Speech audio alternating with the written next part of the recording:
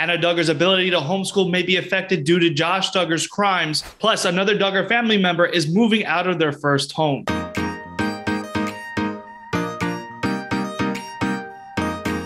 What's up, guys? I'm your host, Nicholas Gonzalez with Counting Duggars this week. Now, before we begin today's video, I need you to hit the sub, like, and bell button down below for all the latest on your favorite celebs.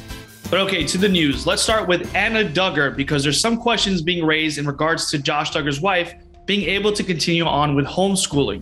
Now, according to the Coalition of Responsible Home Education, the state of Arkansas has a rule that prohibits homeschooling in a home with someone who is registered as a sex offender. Fans have started to wonder how this could affect the family's living situation in the future and how the educational aspect will have to change once Duggar is officially released from prison. And as a reminder, Josh's sentence hearing is scheduled for late May, and he could face up to 20 years or more for each of the two counts he's been found guilty of. But all right, let's switch gears now to talk about Jill and Derick Dillard as they are moving out of their Arkansas home. Last week, the two revealed on their blog post their decision to move out of their very first home together because Derick accepted a new job. This announcement comes weeks after the Supreme Court of Arkansas Office of Professional Programs shared Derick's name among the list of applicants who successfully completed the bar examination and MPRE to become a licensed attorney.